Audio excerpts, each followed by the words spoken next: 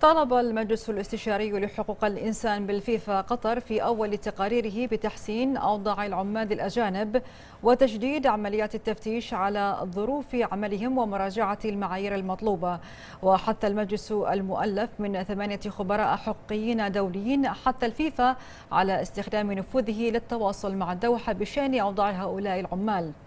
وذكر المجلس في تقريره أن الوفاة والمرض الشديد والمعاملة القاسية أكثر ما يقلق المنظمات الحقوقية الدولية والأوروبية التي تصدر التقرير والآخر لتوثيق هذه الانتهاكات وتحث على مواجهتها.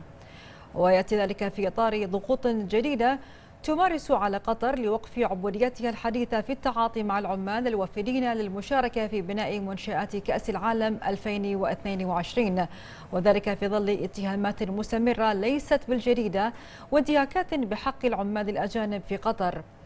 وقبل شهور منعت الحكومة القطرية العمال الوافدين من أخذ إجازاتهم السنوية وألغت كل الإجازات عليهم مما تسبب بخطر كبير على العمالة الوافدة.